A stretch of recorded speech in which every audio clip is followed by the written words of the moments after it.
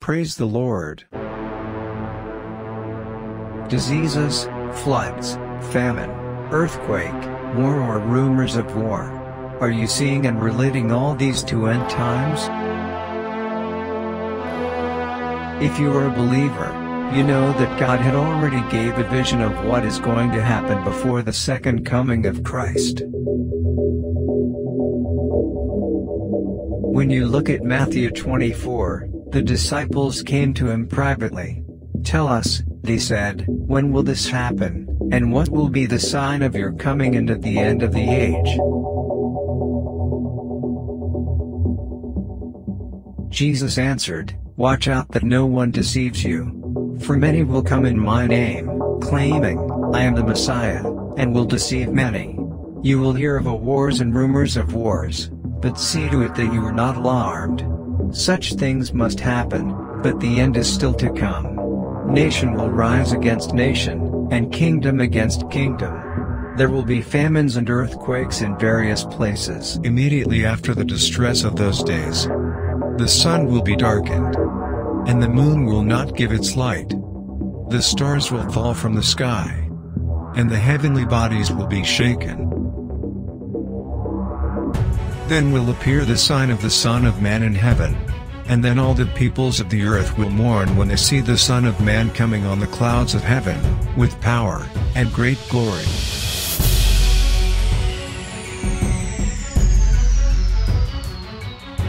Whether the signs or messages seems to be fulfilling or not, but the main thing we should know. Are we ready for the return of Christ? There can be one of us still holding grudges in our heart, still hating someone, still cursing someone. We need to test ourselves where we stand as a believers. Have we left our old life and born again truly? Do we love our enemy and pray for them as said by God in Bible? Do we still lie? Do we still cheat? Do we get angry?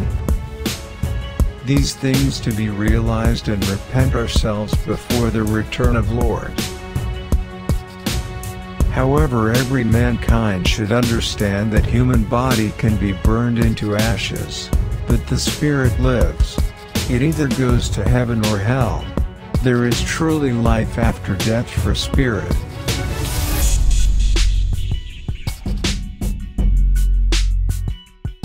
Before it's too late every human on earth should realize the truth.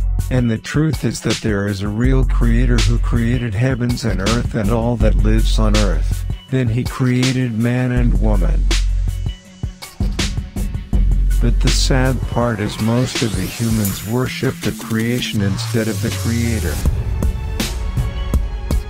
In many ways, God tried to show us he is the true living God and the only Holy One. Even now there are many miracles and healings all over the world by His mercy and grace.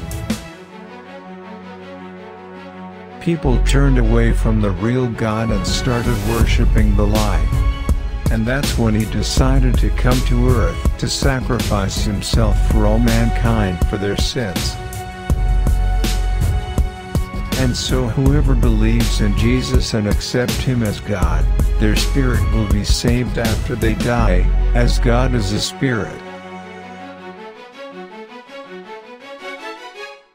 If you read 2 Chronicles 7:14, God says, "If my people, who are called by my name, will humble themselves and pray and seek my face and turn from their wicked ways, then I will hear from heaven, and I will forgive their sin and will heal their land. On 1 John 1 9, if we confess our sins, he is faithful and just, and will forgive us our sins and purify us from all unrighteousness.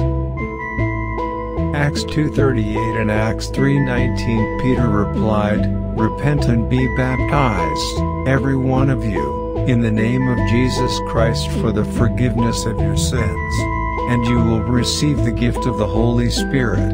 Repent, then, and turn to God, so that your sins may be wiped out, that times of refreshing may come from the Lord. Also, if you read Deuteronomy 4:29 to 31, but from there you will seek the Lord, your God and you will find him, if you search after him with all your heart and with all your soul. When you are in tribulation, and all these things come upon you, in the latter days, you will return to the Lord your God and obey his voice. For the Lord your God is a merciful God, he will not leave you, or destroy you, or forget the covenant with your fathers, that he swore to them.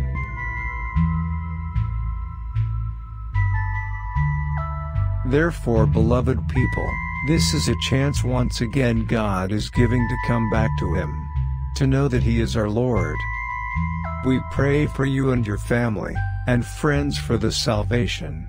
May God's grace and peace be upon you. Praise the Lord.